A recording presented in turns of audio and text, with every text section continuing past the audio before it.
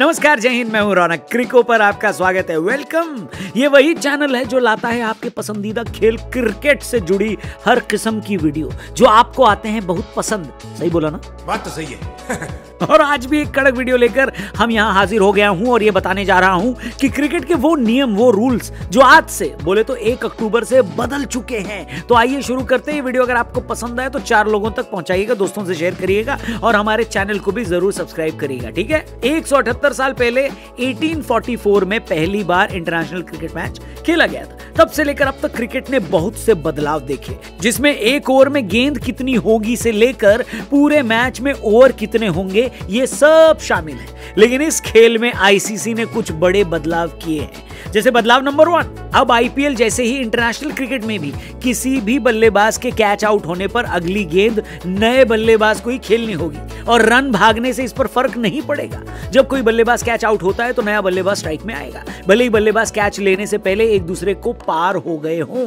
पहले यह नियम था कि कैच पकड़े जाने से पहले अगर बल्लेबाज एक दूसरे को पार कर लेते थे तो दूसरे छोर पर खड़ा बल्लेबाज स्ट्राइक पर आ जाता था और नया बल्लेबाज नॉन स्ट्राइकर एंड पर रहता था। यह नया रूल बॉलिंग साइड के लिए काफ़ी मददगार साबित होगा।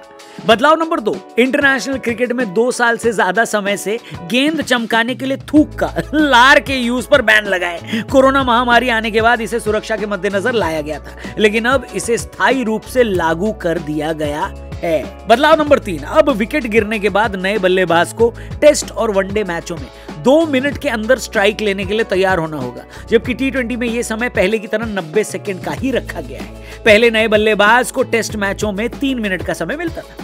बदलाव नंबर चार, अगर कोई बल्लेबाज गेंद खेलने की कोशिश में पिच से पूरी तरह बाहर चला जाता है तो वो गेंद डेड बॉल हो जाएगी और बल्लेबाज को कोई रन नहीं मिलेगा।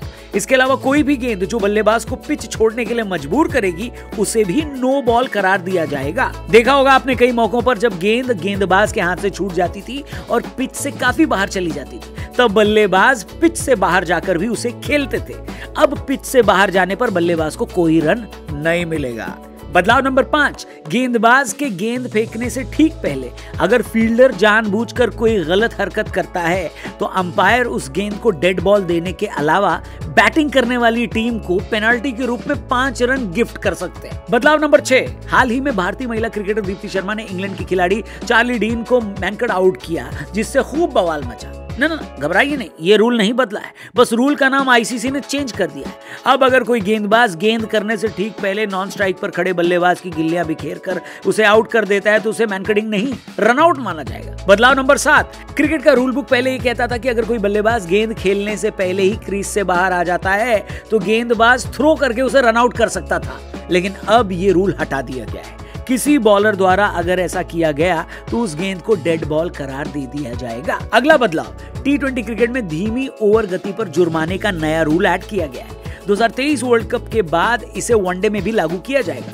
इस रूल के मुताबिक गेंदबाजी करने वाली टीम को निश्चित टाइम के अंदर अपना आखिरी ओवर शुरू करना होगा। अगर तय समय पर कोई टीम अपना आखिरी ओवर शुरू नहीं कर पाती तो उस समय सीमा के बाद जितने भी ओवर होते हैं, उसमें एक फील्डर बाउंड्री से हटाकर 30 गज के दायरे के अंदर रखना पड़ेगा। इसे बल्लेबाजों की डेथ ओवर में बल्ले बल्ले हो जाती है। फ़िलहाल ये रूल टी क्रिकेट में लागू है और अगले साल से इसे वनडे में भी इंट्रोड्यूस किया जाएगा। अगला बदलाव।